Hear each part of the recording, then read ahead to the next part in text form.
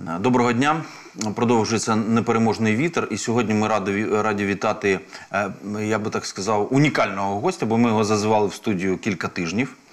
Е, Доброго дня. е, Це Руслан Станіщенко, наш політолог, наш друг, е, колись навіть був ведучим нашого каналу.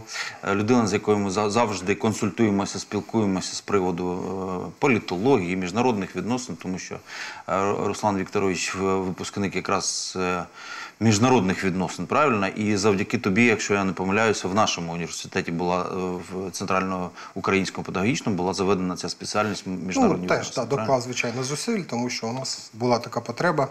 Е, Зараз, звичайно, в зв'язку з складними умовами там міняються певні напрямки спеці- спеціальностей, але тим не менш, певний період ми е, випускали спеціалістів з міжнародних відносин, кваліфікованих, там, сертифікованих і так далі.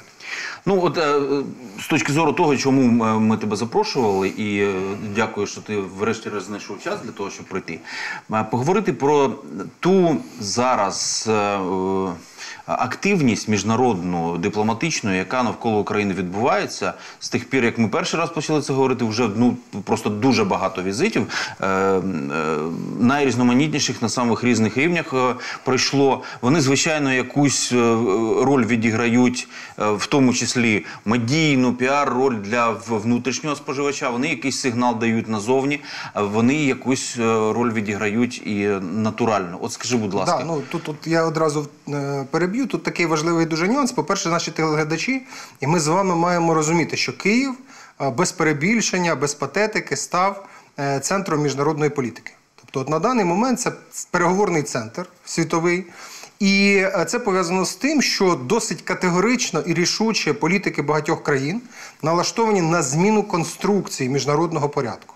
Тому що той світоустрій, який ми бачили до е, 24 лютого, він на наших очах ну, не просто руйнується, він от такий крен, різкий падіння здійснює, тому що значні крупні е, міжнародні організації вони просто не здатні були виконати ті зобов'язання, які на них лежали. Це стосується не тільки там ООН, навіть НАТО це стосується, оскільки це організації, в яких Ну, є, скажімо так, величезна кількість пережитків ХХ століття, і ми зіштовхнулися з тими реаліями в 21-му, які просто ставлять е, запитання, на які дані організації дати відповідь не можуть. І в цьому контексті Київ е, дійсно є однією з міжнародних дипломатичних столиць на даний момент. Хоча, звичайно, це в період війни говорити ну, можна тільки з умовністю, оскільки ми в тому числі і країна, яка піддалася агресії, в нас безпосередньо йде війна. Але тим не менш Київ є такою дипломатичною столицею, однією з дипломатичних столиць світу. Ми ж основний агрегатор зараз інформприводів, і ну найбільший, напевно, інформпривід е, на нашій планеті, правильно? Е, Ну, можна сказати, що один з найбільших є країни, які, звичайно, дуже обмежено дозують інформацію про Україну, такі як Китай, Індія, скажімо, країни Африки, Азії та й Туреччина, в тому числі, вона не вивела з свого медіапростору цілий ряд радянських е, російських, ну, обмовка, в принципі, правильно, російських. е, Телеканалів, але тим не менш, звичайно, Україна вона знаходиться, в- знаходиться в такому медіафокусі світової спільноти. Скажи, будь ласка, от із всіх. е, Ну, для мене, ми з тобою обговорювали перед початком, для мене з усіх е, візитів, з, з- великих оцих, з цього дипломатичного десанту, е, ну, для мене най, найзнаковіші, ну, напевне, це візит Блінкіна і Осіна, як головних, е, так би мовити, ну, для мене це вирішення постачання тієї самої зброї. За їх візитом е, е, потім е, Рамштайн. Оце в- велика ця консолідація західного світу, ну як мені здалося. І крім цього, Джонсон, який, ну е, я розумію, що крім того, що це. е, Ну, так би мовити, великий, велика серйозна справа, але він ще медійно зробив щось таке завдяки своїй харизмі е, особистій, да? завдяки тому, що от він якось все це робить не так, як всі. І він е, посприяв, мені здається, ну, ну от якомусь е, якійсь зміні і всередині в нашої країни чогось, як ми ставимося до західного світу. Я помиляюсь, щось може було таке, ну там бувши генсек ООН. От мені здалося, що оці е, були важливіші, і н- н- не з приводу того, що коли був генсек ООН, то незважаючи на це, а навіть ну, проявивши свою своє ставлення до генсека ООН, якраз е, Російська Федерація бомбила в цей час. От як Один із кварталів Києва. Так. Е, ну, зрозуміло, що коли ми говоримо про Джонсона, сам по собі він дуже епатажний політик, але з іншого боку, він як представник е, і такої держави з серйозними теж імперськими амбіціями в якомусь сенсі, і країни, яка пройшла і виграла не одну війну, він прекрасно розуміє, що дуже важливо для е, тієї чи іншої країни, народу мати морально-вольовий дух. І е, от помітно було по ньому, що він от приїхав в тому числі десь підтримати, вселити оцей додатковий дух непереможний, який він є і так у нас. Да, але я думаю, що це такий певний теж був непоганий стимул, позитивний е, саме приїзд Джонсона. Е, З іншого боку, треба говорити, що світ все ж таки консолідувався навколо нас зав- завдяки саме англосаксонській лінії політикуму. І саме е, британський і американський істеблішмент вони фундаментально е, заклали оцю можливість об'єднатися навколо нас світу. І це вже в принципі навіть і на Росії визнають, та, що е, практично весь світ проти Росії. І вони ведуть дискусії, що нам з цим робити. Да? Тобто я не думаю, що вони зможуть повноцінно вийти з цієї ситуації, да? тому що вони самі вже заговорили про капітуляцію, вже частина таких відносно проросійських політиків, е, ну там як е, цей Еммануель на телефоні, да? е, вони хочуть десь якось там зберегти обличчя Путіну. Але в будь-якому разі ми говоримо про те, що світу це кільце дипломатичне, воно якраз завдяки зусиллям і української дипломатії, і міжнародної, вперше за все американської і британської дипломатії, вона навколо Росії воно стискається. Тобто, по суті, вони в таких лищатах дипломатичних наразі знаходяться. Інша річ, що немає достатнього інституційного оформлення цієї дипломатичної сили і потуги. Чому? Ну, по-перше, звичайно, е, як неодноразово вже говорили наші е, і політики, і військовоначальники, необхідно багато вирішити питань на полі бою. А по-друге, тому що дійсно, коли відмирає стара система, яка прожила більше ста років, ми говоримо про зародження чогось нового, і потрібно, щоб виникли певні нові структури. Там ми говоримо про там певні формати, там 24, там 45 і так далі. Е, Звучали різні е, способи, як можна організувати безпеку України. Але мова в тому, мова йде про те, що Україна це не просто буде е, компонент чи елемент цієї безпеки. Да? Україна буде одним із центральних факторів, який буде вмонтований в нову систему міжнародної безпеки. От про що йдеться. І саме тому такий е, широкий ареал. По-перше, країн, які ведуть переговори з цього приводу, і е, зрозуміло, що коли ти випадаєш з такого контексту, для багатьох країн це означає ну певну втрату міжнародного авторитету, тому якомога більше хочуть до цього долучитися. От ми можемо побачити, що до нас почали там е, наносити візиту там якісь прем'єри країн, які ну Щоб практично бути в нас не тусовці да, просто тусовці. певна тусовка дипломатична. Там і Австрія приїздить, там інші, інші, інші країни, тобто цілий ряд. Особливо е, абсолютно не е, ну, його ж навіть так подавали візит Трюдо, да? Е, якось. Імпровізом, е, прямо без попередження, просто приїхав, подивився, поїхав. Не зрозуміло, що там. Скільки відсотків з того, що обговорено, ми взнаємо? Е, Я думаю, що традиційно це не більше третини інформації. Я думаю, що є теж дуже серйозні питання до української сторони. Е, Це стосується якраз е, того, що по питанням ленд-лізу чи використання західної допомоги наші партнери ставлять питання про те, щоб унеможливити корупцію, щоб був ефективний розподіл тих коштів, тих засобів, які нам передаються, фінансових інструментів. Е, І я думаю, що це дуже гострі, певні навіть є дискусії в зв'язку з цим.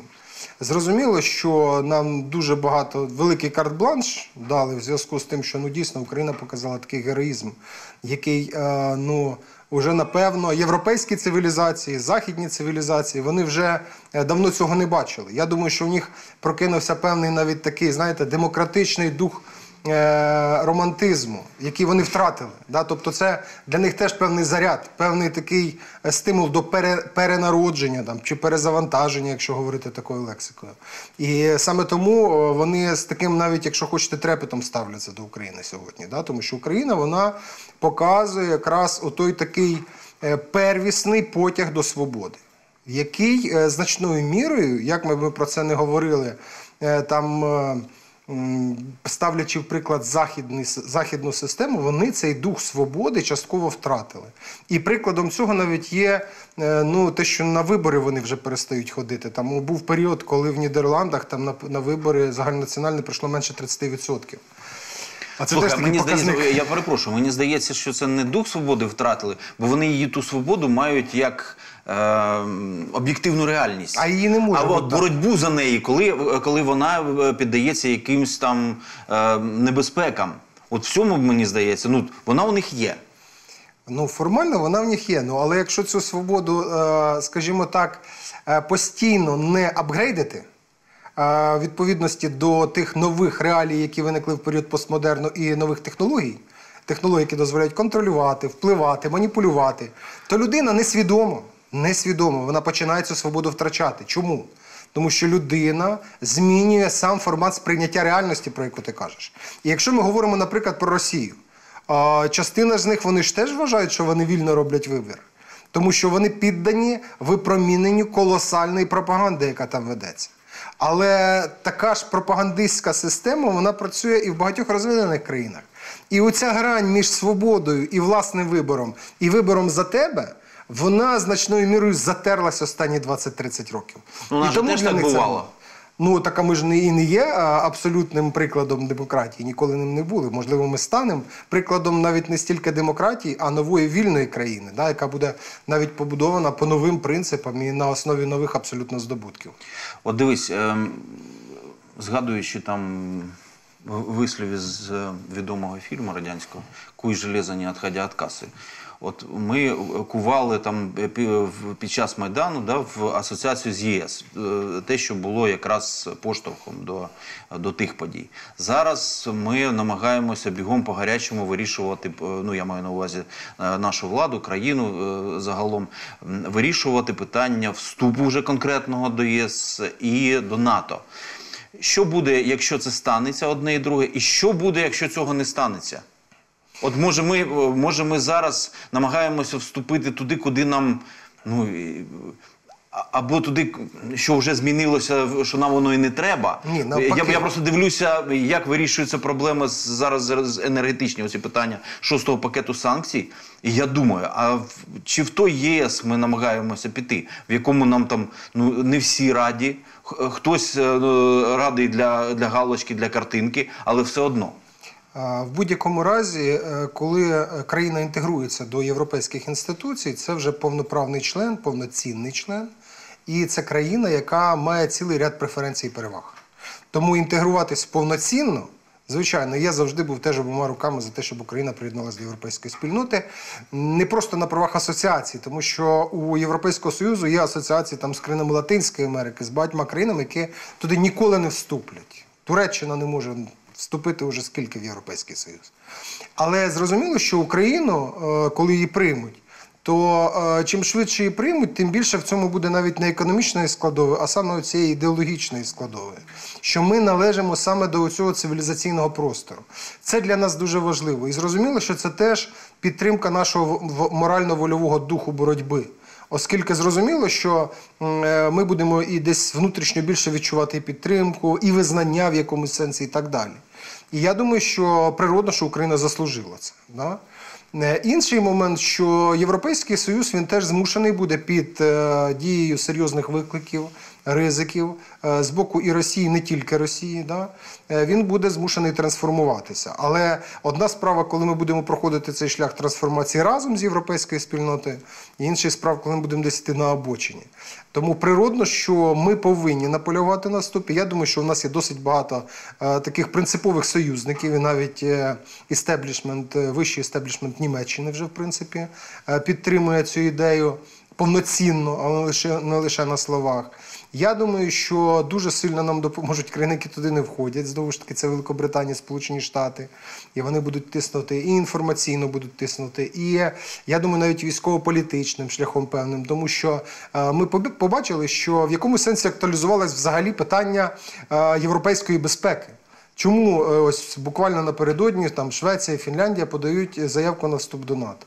Тому що всі розуміють, що питання безпеки наразі актуально, воно впало це питання, оскільки, як е, ти правильно сказав, люди жили і здавалося, що свобода навічно, безпека навічно, мир навічно, але так І не ракети буває. ніколи не полетять. Так, да. І коли вони це побачили, то зрозуміло, що вони почали більше цінити, ну в тому числі, наприклад, військові підрозділи НАТО, які до цього часу і вплив Сполучених Штатів, які вирішували ці питання, він ну певною мірою був е, не то, щоб він був обмежений, але він ставився за рамки при переговорах Європи з е, Росією. І до чого це призвело, ми зараз бачимо. Да? Що насправді е, саме е, оці класичні європейські демократії, Франція, Німеччина в першу чергу, в, з цим і північним потоком 2 там із цілим рядом загравань із російською владою, вони призвели до такої критичної ситуації на континенті, тому що це не тільки питання безпеки України. Ну це ж питання, перш за все, грошей. Що в, що в першому, що в другому. Ну, взагалі, всі процеси, які відбуваються в міжнародній політиці, вони з приводу влади, з приводу грошей. І ми ж розуміємо, Ми що можемо розкласти взагалі, от, наприклад, е, як Росія, да, як їхнє керівництво, чисто переслідуючи свої фінансові інтереси, як воно починало війни, як воно там торпедувало безпеку там, на Кавказі, в Європі, там, Придністров'ї і так далі. Тобто, звичайно, це постійно пов'язано з коштами і з владою. Е, А для Росії це взагалі пов'язано наш Україна, це взагалі питання безпосередньої влади і навіть виборів. Тому що якщо ми подивимося, як вони агресивно діють стосовно України, це дуже часто і синхронно відбувається з передвиборчими кампаніями. От ми дивимося Тузла, вибори до парламенту, Крим, президентські вибори. Зараз ми знову дивимося війна, знову президентські вибори. Чому це так? А тому, що Україна для них це ну певний такий дуже серйозний чинник міжнародної політики і власних рейтингів. І успіхи на Україні вони дуже якісно капіталізують у своїх передвиборчих кампаніях.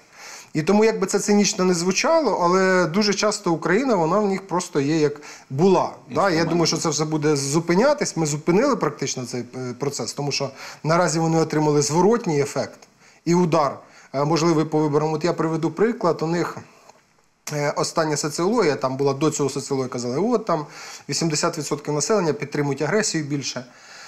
Е, наразі колеги, соціологи, які, е, ну скажімо так, е, в якийсь період вважалися опозиційними, ну зараз важко сказати, які, але я слідкую за тим в групах, як вони там пишуть, у них 95% відмов під час інтер- інтерв'ювання соціологічного. Що це а, просто люди не хочуть відповідати. Люди, як в останній фазі Радянського Союзу, вони не кажуть нічого. Тобто вони не кажуть ні, вони не кажуть, що вони проти, але уявіть, що вам для того, щоб зібрати масив там, в 500 е, чоловік, е, вам е, потрібно опитати там, е, 10 тисяч людей. Тому що просто 9,5 тисяч вони не хочуть з вами говорити. Вони нічого вам не кажуть. А це дуже такий серйозний сигнал для їхньої влади, я думаю, теж, що вони програли не тільки цю кампанію, а вони програли і вибори. І, звичайно, е, в цій ситуації, от те, що ми говоримо про міжнародну політику, е, цей чинник потрібно теж враховувати. І ми бачимо, що Україна теж більш радикальну таку позицію президент займають, що ми не будемо йти на якісь там компроміси, збереження обличчя і так далі. Тому що ми розуміємо, що в інформаційному полі ми маємо ініціативу і перевагу. Да, на полі бою є проблеми певні, є проблеми з тим же ленд-лізом. Проблеми які? Знову ж таки, дуже часто європейські і е, західні політики вони говорять про корупцію в Україні. Да? Тому що е, наші е, представники влади дуже часто кажуть, дайте нам кошти, дайте нам все, ми самі розберемось. Я думаю, цього допускати не можна. І не тільки в умовах війни, але й в умовах нашої системи політичної, яка склалася за більш ніж 30 років. М, Пам'ятаю, ж не, не, не вперше взагалі про це говоримо і е, доволі часто зустрічалися різні кола проблем. Просто одне коротке питання залишилося. Е, Я пам'ятаю тебе як євроскептика в якихось е, моментах, не, не з точки зору, що туди не треба, а з- точки зору, що нам нас скоро туди не візьмуть. От зараз ти вже єврооптиміст з цієї ж точки зору чи ні? А, так ні, я завжди був єврооптимістом з точки зору цінностей, да, цінностей е, саме свободи. Але е, в мене е, це було відчуття до лютого, і воно е, тільки от зараз почало змінюватися під тиском обставин, оскільки європейська еліта дуже зверхня і моментами зневажливо ставилася до України, не тільки до влади України. Ну добре, до влади України ми самі можемо ставитись до верхівки правлячої в тій чи іншій формі. По, по, кожен по-різному може це робити. Але я е, ну, не просто це бачив з точки зору там, інтернету чи телебачення. Я відвідував багато цих країн. Я спіл- спілкувався з багатьма представниками їхнього істеблішменту. Е, Я спілкувався з багатьма представниками е, їхніх громадських активістів. Да?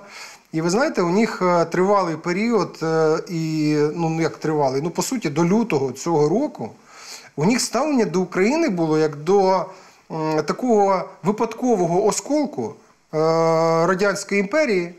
Е, Ну, що з ним треба вже щось зробити, там, чи заберіть його Росія, там, чи ще щось нехай буде. І тому е, треба теж віддати належне після 2014 року, те, що ми навіть в тих умовах підписали асоціацію, яка була нехай не вигідна економічно, але вона була вигідна політично, там без віз і так далі. і так далі. Е, Але саме ставлення е, правлячих кіл сучасної Європи е, тільки під дією війни, е, от зверни увагу, тільки під дією війни, воно змінилося із такого, ну по суті, з верхнього до е, навіть такого, е, ну уже більшість політиків з таким не просто пієтетом, з острахом навіть дивляться для своєї кар'єри, як вони будуть говорити про Україну.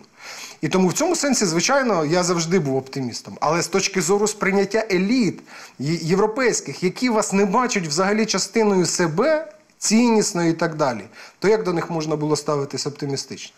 І більше того, і зараз е, Європа теж робить е, свої рішення під тиском чого? Під тиском героїзму українців на полі бою і під тиском е, британців і американців. Тому що не будь цього тиску, ми ще не знаємо, як би там е, вони далі продовжували переговори з Москвою і з північними потоками, там і південними, і так далі. Тому така от історія. Ну і я, і на- напевне, глядачі відчувають, що це наша не остання зустріч. Я маю надію, що зараз графік буде трошечки е, як це вільніший, і ви, е, шановний, будете частіше до нас. Да, з задоволенням тоді да, будемо спілкуватися. Руслан Стадніченко, е, доцент, політолог е, і мій друг, був у нас в студії. Е, Дякую тобі. Та, до зустрічі. Дивіться непереможний вітер. Скоро переможемо.